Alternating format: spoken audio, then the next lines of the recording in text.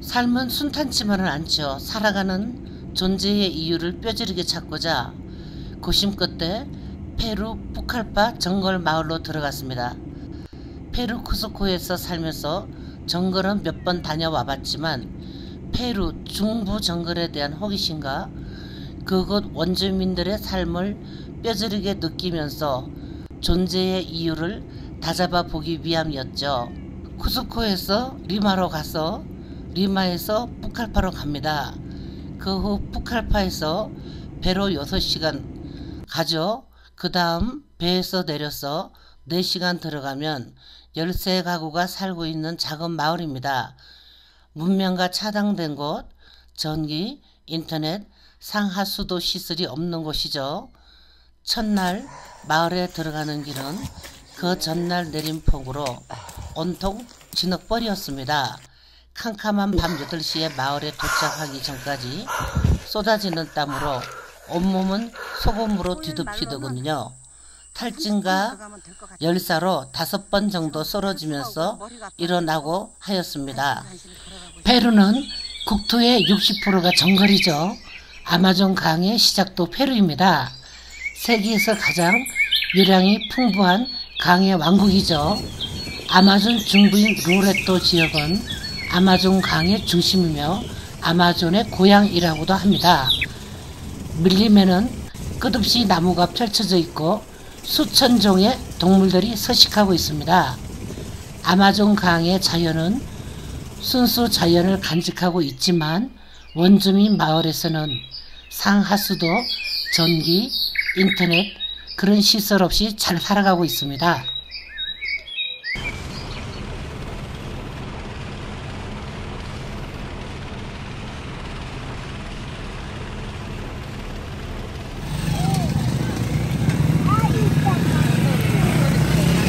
지금 위스키 작은 거 두 개 하고 물하고 비슷하게 샀습니다. 그러니까 여기가 우리네로 치자면은 버스 터미널이죠. 각 그 조금 큰 군 단위에서 자기 집으로 가려면은 버스를 갈아타잖아요. 그것처럼 여기에서 자기 그 정글 강을 거슬러 올라가는 마을로 가기 위해서는 여기서 자기가 원하는 배, 즉 자기 집으로 가는 배를 타야 합니다. 너무 덥습니다. 배가 11시에 출발한다 그래가지고요. 배 떠나기 전에 간단하게 식당에서 음식 좀 먹으려고 들었습니다. 아마 이 강에서 나는 생선 요리인 것 같습니다. 배 타기 전에 점심 먹고 가려고 이 가족들하고 이제 점심 먹고 있거든요. ¿Cómo se llama pescado? Gamitana. Camitana. Ajá.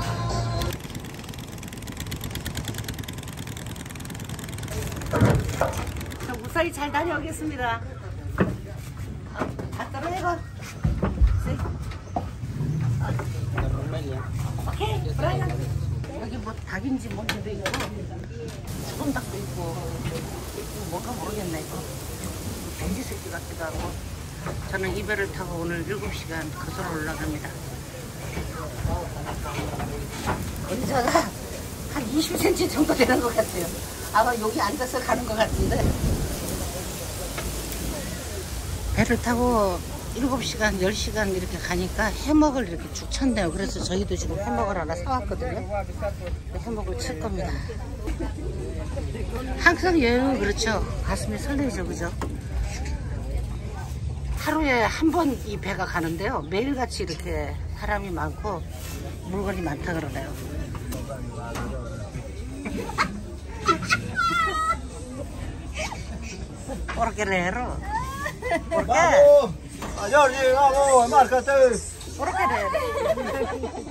¿Por qué leerlo?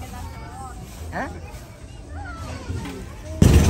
이 안에 석유가 들어있나 봅니다. 이 가솔리나를 싣고 啊，我都走路干了。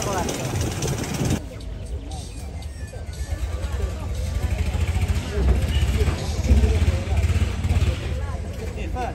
哈哈哈！走远了。